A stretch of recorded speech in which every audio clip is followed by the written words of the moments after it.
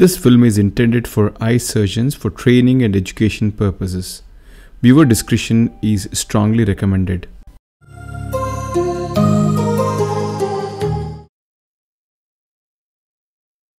Hi, I'm Dr. Deepak Megur. In today's case, let's try to find out whether can we save the bag in this eye with extreme zonular weakness. This is an elderly lady who has long-standing hypermature Morgagnian cataract with phacolytic glaucoma. Uh, the pressures are controlled and now she's come for surgery. The capsule shows multiple areas of calcific spots. There is mild phacodonesis and the hard Morgagnian small nucleus is settled down, which is surrounded by a pool of uh, liquid cortex. In this case of long-standing hypermature cataract, I expect profound zonular weakness and the challenge is going to be to deal with these weak zonules and whether we'll be successful in saving the bag.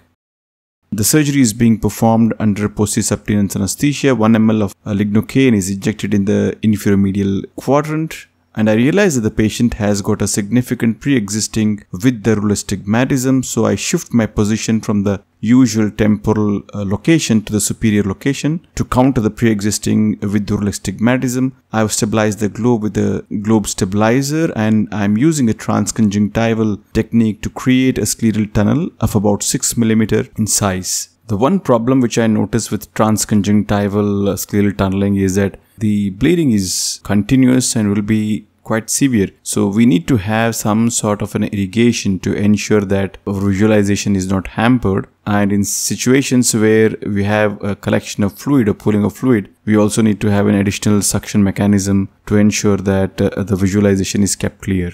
So that is one aspect which is bothering me when I'm trying to do with the transconjunctival scleral tunnel. Otherwise, it works great.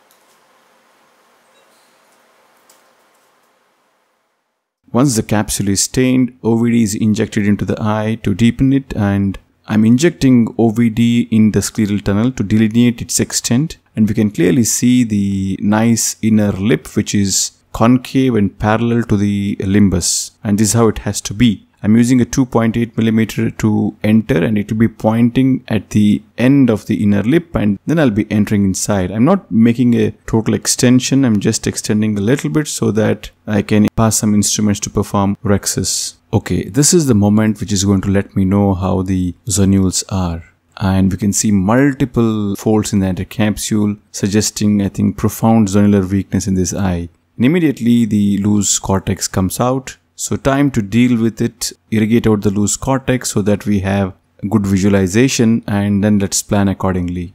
The first thing which I'm going to do is to inject cohesive OVD that is sodium hyaluronate into the bag and also in the antechamber. The idea of inflating it into the bag is that it will provide some sort of a stability to the bag, keep it formed and maybe provide some traction force for us to ease out the rhexis making process. So filling the bag with high molecular weight viscoelastic is probably going to help me. Uh, that's what I'm thinking now. So in eyes with loose zonules, capsulorhexis forceps is the best tool to manage the rhexis. So I've gone in with my capsulorhexis forceps holding the flap and trying to tear it and the enormous zonular laxity is seen here. Multiple folds are there. Even the tearing is not easy. Somehow I could manage to tear until I go and hit this roadblock and this is this calcific spot. And this is not looking good here. It is threatening to go into the equator if I proceed further. So I'm just wondering what to do. I just leave it at that come out refill the bag with OVD uh, let me pause here for a moment and uh, let you know what was going in through my head at that point.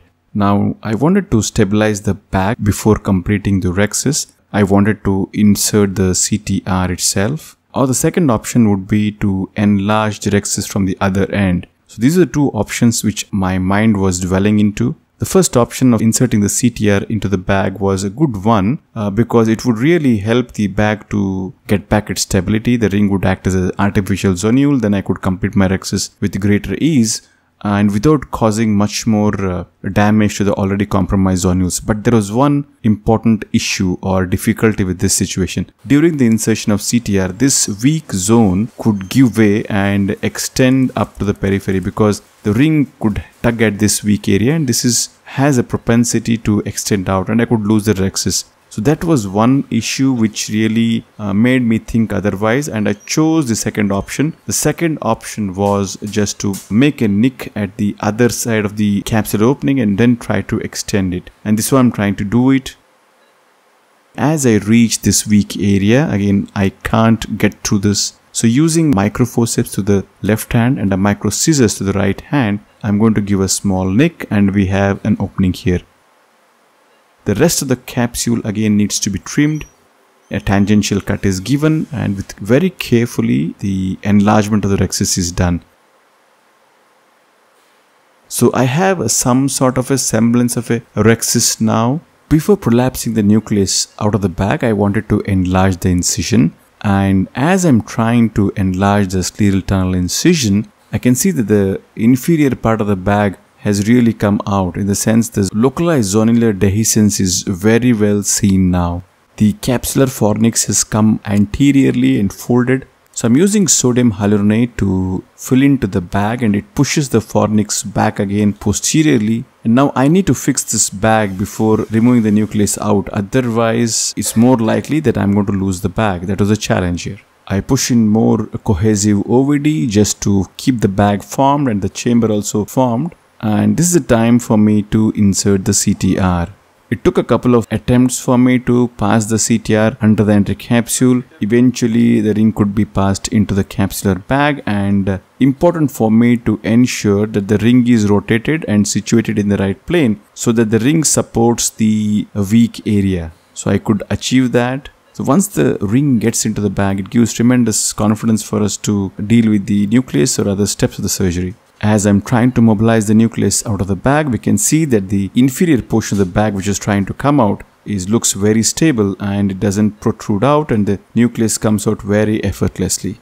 Using a vectis in the dialer, the nucleus is expressed out using the phaco sandwich technique. There was a moment of scare for me as I'm seeing a oval delineated mark in the posterior capsule is wondering whether PC is intact but thankfully the PC was intact. That ring was in fact an area of uh, calcific zone in the posterior capsule and uh, PC was just fine. The foldable intraocular lens was again planned. This is an originally planned multi-piece lens. It's gently implanted into the bag. Again, the presence of uh, sodium hyaluronate helps us to do all these things in a more gentle way. There is no loss of the antechamber or loss of the bag during the implantation of the lens or the maneuvering of the lens into the bag. As I'm trying to remove the OVD both in front and behind the lens, I can see a few cortex fibers which are sticking out of the posterior capsule. I just try to carefully tease them out of the fornix.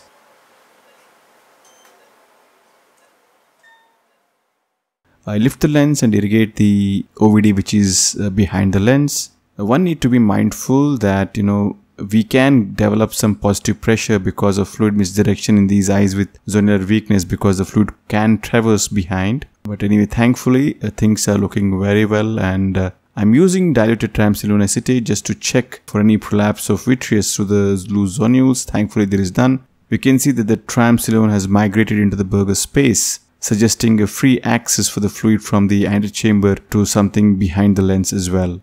Uh, that's it, the case is done, the ports are hydrated.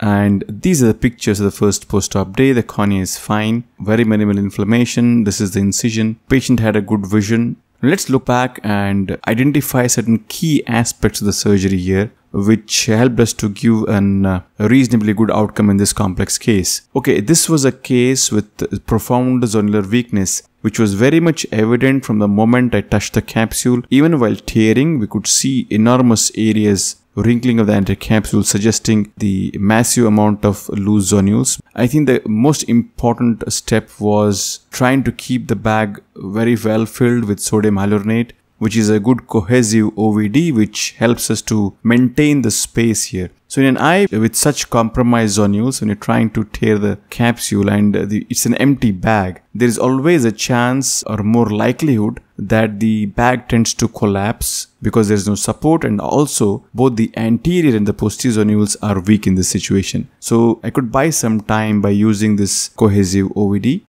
the second aspect was to stop the Rhexis once I reached this difficult area where it was not going ahead and instead try to enlarge the capsulotomy from the other area. And having done this, obviously the next most important step was to immediately insert the CTR to deal with this large area of inferior zonular dehiscence here. Again, using a cohesive OVD to keep the bag inflated when I'm trying to put in this ring did help me. Mind you, all these bags in the caps will be very fragile. Uh, they have a great tendency to tear during the slightest of manipulation. When you're trying to introduce the CTR, even that can tear the Rhexis margin or the PC tear as well. So keeping the bag very well inflated with cohesive OVD was one of the secrets wherein the all the steps could be done more efficiently. And once the bag got stabilized, the prolapsing the nucleus out was easier. If I tried to prolapse the nucleus out without putting in the ring, the chances of losing the bag would be enormously increased. So using the right OVD and timely insertion of CTR really helped us to save the case and to save the bag. Thank you for watching and hope you found this helpful.